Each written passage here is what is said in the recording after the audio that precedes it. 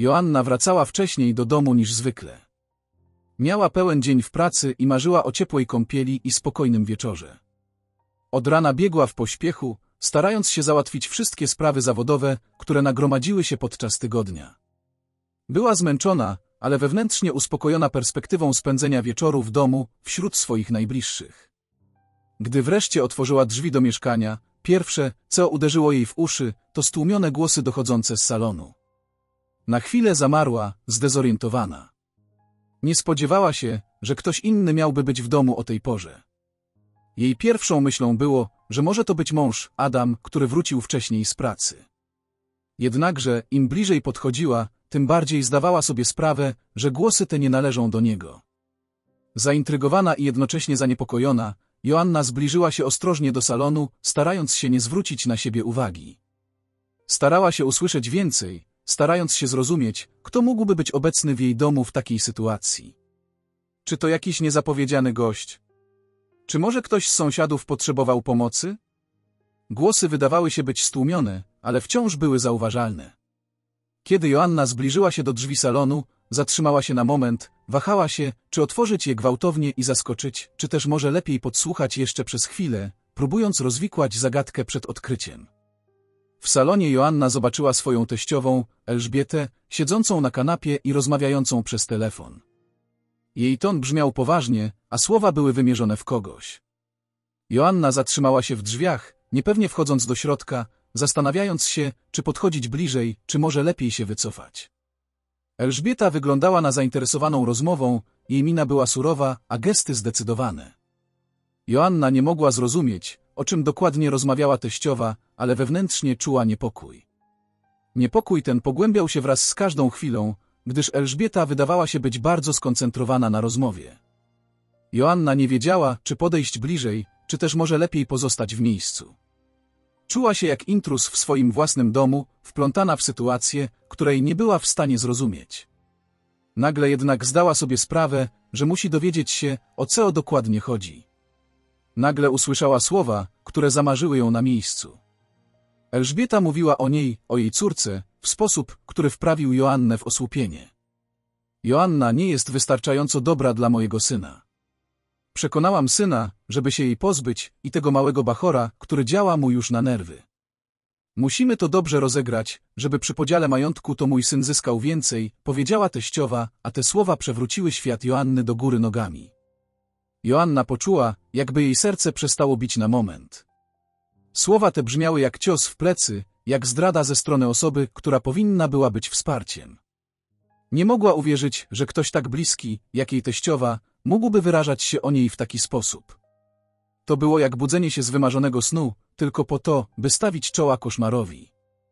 W jej umyśle pojawiła się natychmiastowa reakcja, musiała uciec.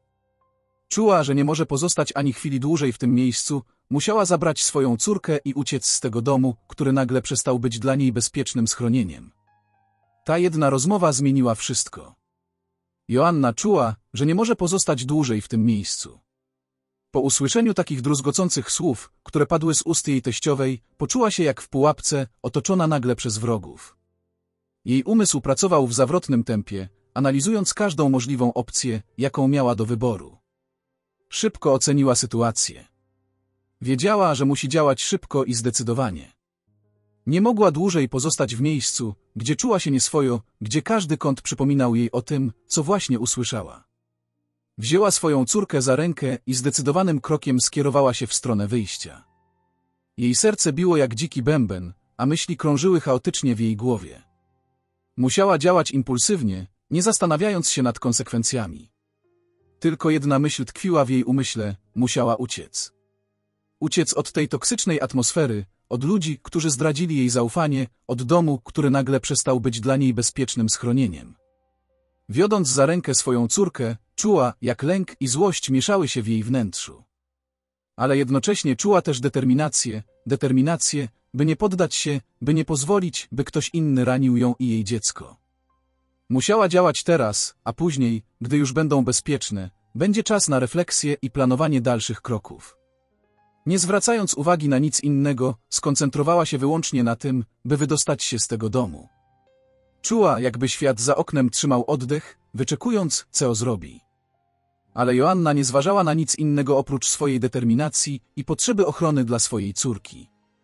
Opuściła ten dom, gotowa na to, co przyniesie im przyszłość. Po tym jak Elżbieta zakończyła rozmowę telefoniczną, wstała z kanapy, czując się nieswojo. Była to rozmowa, która zostawiła w niej niepokój, ale nie wiedziała dokładnie, co się stało. Wyszła z salonu, a gdy przekroczyła próg, jej wzrok padł na pustą przestrzeń, gdzie jeszcze przed chwilą bawiła się córka Joanny. Niezrozumienie malowało się na twarzy Elżbiety, gdy spojrzała na zegarek i zdała sobie sprawę, że Joanna powinna już wrócić i pomagać przygotowywać obiad. Zwykle Joanna była bardzo odpowiedzialna i nigdy nie spóźniała się bez powodu. Coś musiało się stać. Elżbieta przeszła przez salon, próbując zrozumieć, co mogło być przyczyną nieobecności Joanny. Czy to możliwe, że doszło do jakiegoś incydentu? Może Joanna została w pracy dłużej? W jej głowie rodziły się różne teorie, ale żadna z nich nie wydawała się wystarczająco przekonująca.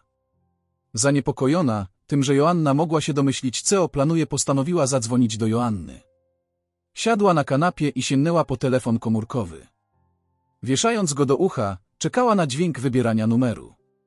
Po kilku sygnałach usłyszała tylko automatyczną wiadomość o niedostępności. To tylko zwiększyło jej niepokój. Zaczęła się zastanawiać. Co mogło się zdarzyć? Dlaczego nie odbierała telefonu? W głowie Elżbiety krążyły myśli, a ona czuła się coraz bardziej przytłoczona. Musiała podjąć decyzję, która mogłaby mieć wpływ na dalsze wydarzenia. Czy w ogóle mogła sobie wyobrazić, co się stało? Czy mogła sobie wyobrazić, że to, co się wydarzyło, całkowicie odmieni ich życie? Joanna czuła, że wszystko w niej krzyczy, by uciekać. Jej umysł był ogarnięty przez paniczny niepokój, a serce biło tak mocno, że wydawało się, jakby chciało wyrwać się z jej klatki piersiowej. Trzymając córkę za rękę, pędziła w kierunku swojego samochodu, nie zważając na nic innego niż potrzebę jak najszybszego opuszczenia domu teściowej. Przez chwilę, gdy biegła, nie myślała o niczym innym niż ucieczka. W jej umyśle nie było miejsca na nic prócz chęci wydostania się z tego miejsca, w którym czuła się jak obca, jak wroga.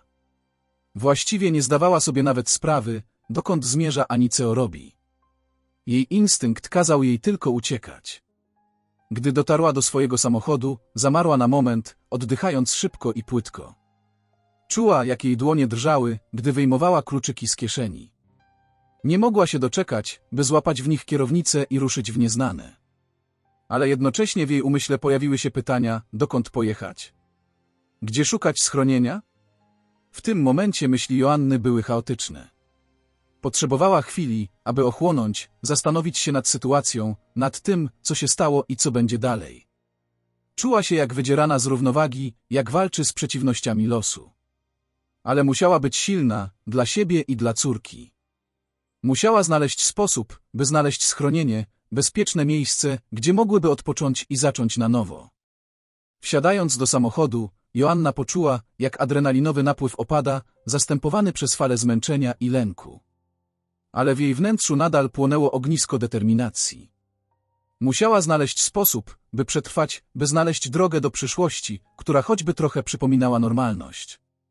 Teraz bardziej niż kiedykolwiek potrzebowała czasu, aby ochłonąć i zastanowić się, co dalej. Po długiej i męczącej jeździe Joanna wreszcie dotarła do domu swojej zmarłej babci. Samochód zatrzymał się przed starym, znajomym budynkiem, który w jej dzieciństwie był miejscem, gdzie spędzała letnie wakacje i wiele radosnych chwil. Jednak teraz, gdy spojrzała na niego, wszystko wydawało się być zupełnie inne. Było to miejsce, które teraz stanowiło dla niej schronienie, odosobnienie od wstrząsających wydarzeń poprzednich godzin. Wychodząc z samochodu, Joanna czuła, jak napięcie opuszcza jej ciało, a zastanawiające uczucie spokoju zaczyna się pojawiać. Wiedziała, że musi zebrać myśli i podjąć ważne decyzje. Kiedy przekroczyła próg domu, poczuła zapach dawnych wspomnień, ale również nowego początku. Musiała działać szybko, aby zapewnić bezpieczeństwo swojej córce i sobie. Wpuściła córkę do środka, obejmując ją mocno, jakby chciała przekazać jej całe swoje wsparcie. Zamknęła za sobą drzwi, a potem przez chwilę stała w ciszy, oddychając głęboko. Teraz przyszła kolej na rozmowę z córką. Joanna usiadła przy stoliku kuchennym, a jej córka, z lekkim zdziwieniem w oczach, usiadła obok niej. Delikatnie głaskała ją po włosach, próbując znaleźć słowa, które uspokoiłyby zarówno ją, jak i siebie samej.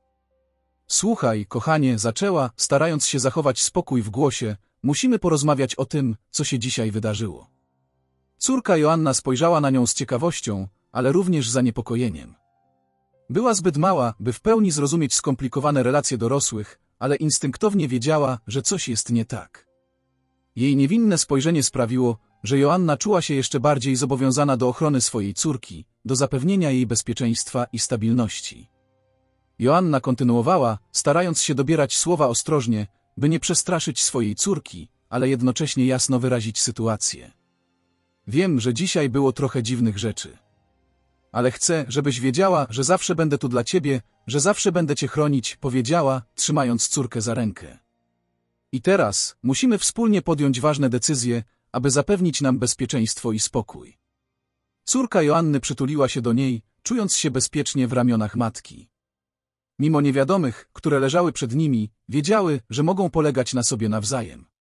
To był pierwszy krok ku nowemu początkowi, ku lepszemu jutru.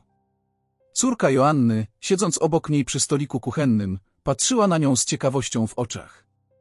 Jej spojrzenie było pełne niewinności, ale jednocześnie przepełnione pytaniem, które Joanie sprawiało trudność. Mamo, dlaczego uciekłyśmy? zapytała, przerzucając na matkę znaczące spojrzenie. To pytanie zaskoczyło Joannę, ale wiedziała, że musi znaleźć odpowiedź.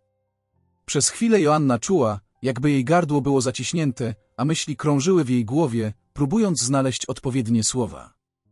W końcu, próbując zachować spokój, odpowiedziała delikatnie, uciekłyśmy, ponieważ, ponieważ potrzebujemy trochę czasu dla siebie. Nie było to idealne wytłumaczenie, ale wiedziała, że nie mogła mówić córce prawdy o wszystkim, co się działo. Córka Joanny patrzyła na nią z lekkim zaniepokojeniem, ale również zrozumieniem. Była jeszcze zbyt mała, by w pełni zrozumieć złożoność sytuacji, ale instynktownie wiedziała, że coś jest nie tak. Czy wszystko będzie dobrze, mamo? zapytała, szukając potwierdzenia. Joanna objęła córkę ramieniem, usiłując przekazać jej poczucie bezpieczeństwa. Tak, kochanie, wszystko będzie dobrze, powiedziała, choć wewnętrznie nadal wahała się co do przyszłości. Musiała znaleźć sposób, by chronić swoją córkę przed trudnościami, które niespodziewanie się pojawiły, musiała znaleźć sposób, by zapewnić im lepsze jutro. To było wyzwanie, które teraz spoczywało na jej barkach, ale nie zamierzała się poddać. Bo choć droga przed nimi była niepewna, miała nadzieję, że razem z córką zdołają pokonać wszystkie przeszkody, jakie los im postawi. Gdy Joanna uspokoiła swoją córkę i zapewniła jej poczucie bezpieczeństwa, zaczęła myśleć o tym, co dalej. Musiała znaleźć sposób, aby poradzić sobie z sytuacją, w której się znalazła. Zdecydowała się najpierw powiadomić policję o tym, co usłyszała z ust teściowej. Wiedziała, że to może być trudne, ale miała nadzieję, że policja będzie w stanie jej pomóc. Kiedy Joanna opowiedziała policjantom o rozmowie, która usłyszała, ich reakcja była zaskakująco obojętna. Powiedzieli, że nie mają żadnych dowodów ani podstaw do wszczęcia dochodzenia, ponieważ nie doszło do żadnego przestępstwa. To był cios dla Joanny. Czuła się bezradna i opuszczona, jakby świat zawalił się na nią. Ale jednocześnie wiedziała, że musi iść dalej. Po rozmowie z policją Joanna wróciła do domu, głęboko zastanawiając się nad kolejnymi krokami. Musiała znaleźć inny sposób, aby zapewnić bezpieczeństwo sobie i swojej córce. Zdecydowała się na konsultację z prawnikiem, aby dowiedzieć się, jakie są jej prawa i jak najlepiej chronić się przed potencjalnym zagrożeniem. Podczas spotkania z prawnikiem Joanna otrzymała wiele przydatnych informacji i porad. Dowiedziała się, że może ubiegać się o ograniczenie kontaktów z teściową, aby zapobiec dalszym incydentom. Prawnikiem doradzono jej również, aby sporządziła testament, aby zabezpieczyć przyszłość swojej córki w przypadku jakichkolwiek nieprzewidzianych okoliczności.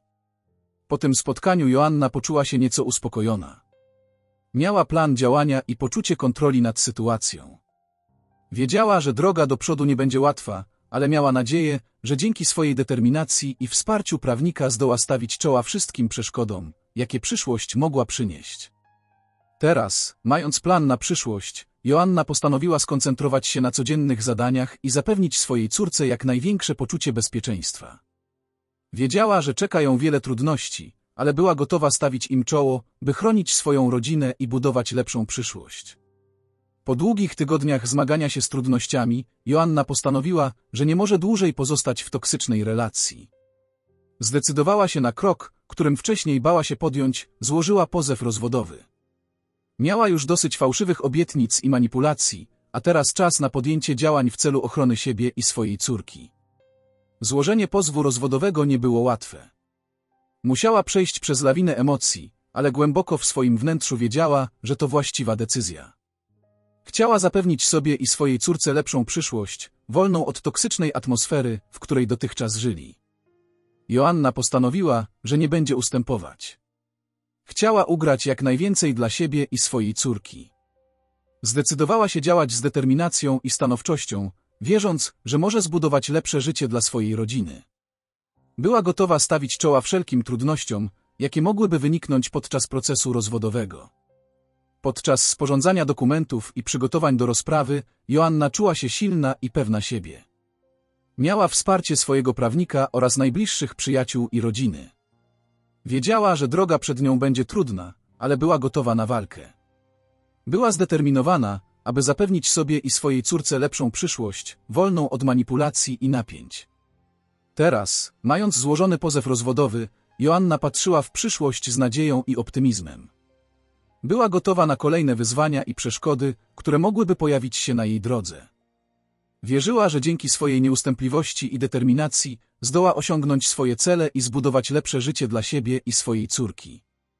Po złożeniu pozwu rozwodowego Joanna postanowiła skoncentrować się na budowaniu nowego życia dla siebie i swojej córki. Postanowiła nie pozwolić, aby cień toksycznej relacji z teściową zakłócił spokój, który wreszcie zaczynała odnajdywać. Zdecydowała się na kontynuowanie codziennych obowiązków, starając się żyć normalnie w domku po babci. Starała się odwrócić myśli od teściowej i tego, co chciała jej zrobić. Chciała, aby atmosfera w domu była jak najbardziej przyjemna dla niej i dla córki. Spędzała czas na pielęgnowaniu ogrodu, gotowaniu pysznych posiłków i czytaniu książek. Starała się czerpać radość z drobnych przyjemności życia codziennego, ignorując napięcie, które nadal wisiało w powietrzu. Jednak mimo starań, nie mogła oderwać się całkowicie od myśli o nadchodzącej rozprawie rozwodowej. Wyczekiwała tego dnia z nadzieją i obawą jednocześnie. Wiedziała, że to będzie kluczowy moment w jej życiu, który zadecyduje o przyszłości jej i jej córki. Dlatego starannie przygotowywała się do rozprawy, konsultując się z prawnikiem i zbierając potrzebne dokumenty. W międzyczasie próbowała zachować spokój i normalność dla dobra swojej córki. Starała się, aby dom był miejscem, gdzie mogły czuć się bezpiecznie i swobodnie. Czasami jednak, w ciszy nocy, gdy leżała sama w łóżku, myśli wracały do problemów, które musiała przezwyciężyć. Ale każdego dnia starała się być silniejsza, gotowa na to, co przyniesie przyszłość. Kiedy nadszedł dzień rozprawy sądowej, Joanna czuła mieszankę niepokoju i determinacji.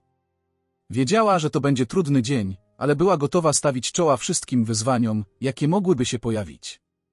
Wraz z prawnikiem, który reprezentował jej interesy, przygotowała się do walki o swoją przyszłość i przyszłość swojej córki. Sądowa batalia nie była zbyt przyjemna. Teściowa Joanny, wspierana przez męża, próbowała ją oczernić i przedstawić w złym świetle. Twierdzili, że Joanna nie była odpowiednią partnerką dla ich syna, że nie była odpowiedzialna matką i że nie zasługuje na dużą część majątku rodzinnego. To było bolesne doświadczenie dla Joanny, ale nie poddała się. Starała się zachować spokój i koncentrować się na przedstawieniu swojego punktu widzenia.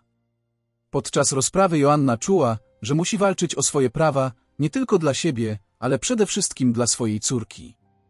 Była gotowa na każdy argument, gotowa udowodnić swoją wartość i zdolność do zapewnienia dobrobytu swojej rodzinie. Po wielu dniach zeznań, wysłuchiwania argumentów i analizy dowodów, rozprawy dobiegły końca. Joanna czekała z niecierpliwością na wyrok sądu, niepewna, jakie będą jego konsekwencje. Jednak kiedy wreszcie został ogłoszony, poczuła ulgę i satysfakcję. Sąd przyznał Joanie opiekę nad córką oraz odpowiednią część majątku, która umożliwiła jej rozpoczęcie nowego życia. Chociaż nie wszystko poszło tak, jak planowała, to wyrok sądu satysfakcjonował Joannę. Czuła, że odzyskała kontrolę nad swoim życiem i może teraz spojrzeć w przyszłość z nadzieją i optymizmem. Była gotowa rozpocząć nowy rozdział swojego życia, wolny od toksycznych relacji i pełen nadziei na lepsze jutro dla siebie i swojej córki. Po zakończeniu procesu rozwodowego Joanna poczuła, że wreszcie może odetchnąć z ulgą. Otrzymała opiekę nad córką i odpowiednią część majątku, która umożliwiła jej rozpoczęcie nowego życia. Była to dla niej ogromna ulga i początek nowego rozdziału. Zdecydowała się opuścić miejsce, które stało się symbolem toksycznej przeszłości. Razem z córką wyruszyły w podróż w nieznane, w poszukiwaniu spokojnego i stabilnego życia. Znalezienie nowego miejsca do życia i rozpoczęcie pracy nie było łatwe, ale Joanna była gotowa na wyzwania, jakie przynosi przyszłość. Stopniowo, dzień po dniu, Joanna i jej córka budowali nowe życie. Znaleźli przyjaciół, którzy ich wspierali i miejsce, które mogli nazwać domem. Joanna znalazła pracę, która dawała jej satysfakcję i stabilność finansową. Miała nadzieję na lepszą przyszłość dla siebie i dla swojej córki. Choć przeszłość pozostawiła blizny, Joanna zdecydowała się spojrzeć w przyszłość z optymizmem i nadzieją. Teraz, w nowym otoczeniu, mogła się rozwijać i odkrywać nowe możliwości. Była gotowa na nowe wyzwania i możliwości, jakie mogła przynieść przyszłość. I tak zakończyła się historia Joanny, historia walki, odwagi i nadziei. Choć droga dojścia do tego punktu była trudna, to teraz, patrząc wstecz, Joanna czuła wdzięczność za wszystkie doświadczenia, które ją ukształtowały. Była gotowa na nowy początek, gotowa na wszystko, co mogła przynieść przyszłość.